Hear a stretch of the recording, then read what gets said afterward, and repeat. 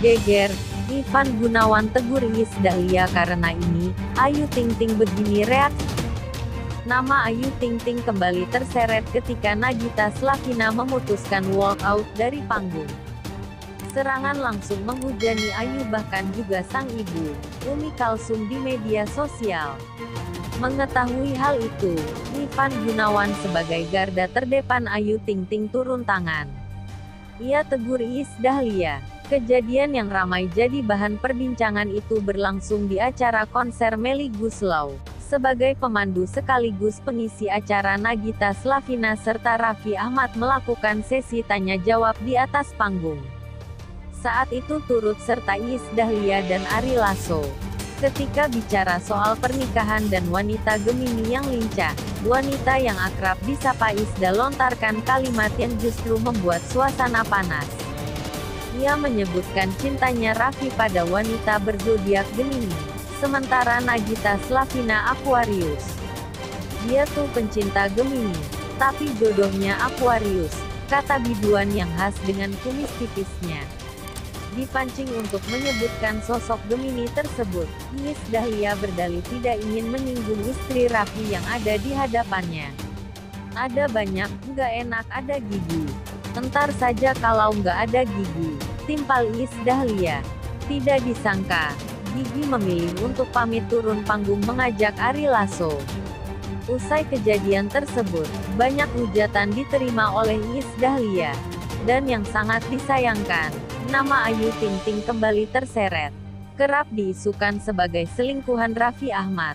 Secara kebetulan bintang Ayu juga Gemini. Tak heran, publik berasumsi bahwa ucapan Iis Dahlia mengarah ke sosok Ayu. Dalam sebuah acara di stasiun televisi swasta, Iis Dahlia buka suara terkait keramaian yang tercipta atas ucapannya. Ditanya oleh Feni Rose selaku host, Iis Dahlia mengaku kalau drama di atas panggung merupakan konsep acara.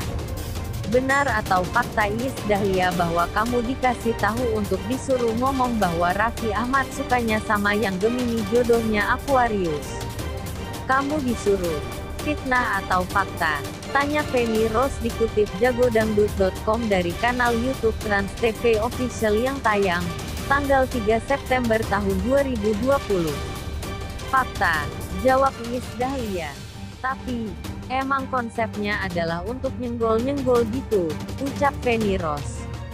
Meski Iis Dahlia akui bahwa ia disuruh bicara seperti itu, namun tidak ada maksud untuk mengusik rumah tangga Raffi dan Gigi. Iis Dahlia tegaskan apa yang dilihat halayak adalah gimmick. Ia juga mengimbau agar penonton tidak menelan mentah-mentah apa yang tersajikan di layar kaca. Enggak, jadi gini loh. Raffi sama Gigi itu anak gue. Memang konsepnya seperti itu. Memang pas di part gue itu gue gak ngerti ya. Kenapa setiap ada acara di part gue selalu ada gimmick? Kenapa sih? Hei pembuat acara. Jadi gini fansnya Raffi dan Gigi atau fans siapa pun juga kalau lagi nonton acara. Jangan telan semuanya dan jangan baper.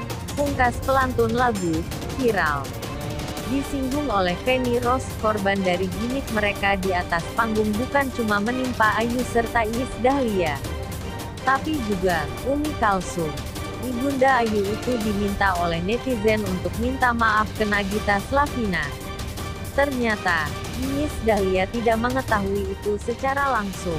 Setelah ramai ia justru dapat teguran dari pria yang sangat dekat dengan Ayu, yaitu Ivan Gunawan via telepon itu bukan cuma ibu, Iis Dahlia, yang dibuli ya. Netizen lari ke lapak orang ke mamanya Ayu Ting Ting, terang Penny Rose. Tahu gak aku itu tipe orang yang kalau memposting sesuatu gak pernah melihat lagi, gak lihat komentar. Besokannya, karena pada saat abis acara gigi itu beruntun itu aku nyanyi tiap hari. Terus pas besoknya acara Sarwendah ulang tahun aku datang. Dari situ aku harus nyanyi juga. Abis itu si Ivan Gunawan telepon.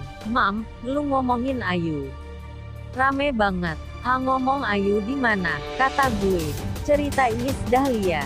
Kemudian, Feni Rose semakin dibuat kepo siapa sosok wanita berzodiak Gemini yang dimaksud oleh Iis Dahlia. Bukan Ayu, tapi Yuni Sara. Mantan kekasih Raffi yang memang sempat diisukan akan melangkah ke jenjang pernikahan. Tapi yang kamu maksud zodiak Gemini itu siapa sih? Dikulik Feni Rose.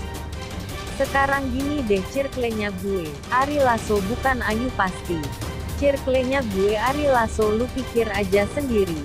Jadi, netizen itu jangan suka halu keterlaluan. Jelas Iis Dahlia. Circle Anda maksudnya yang rumahnya dekat-dekat situ. Gimana sih? Oh Yuni Sara maksudnya. Tegas Feni Rose.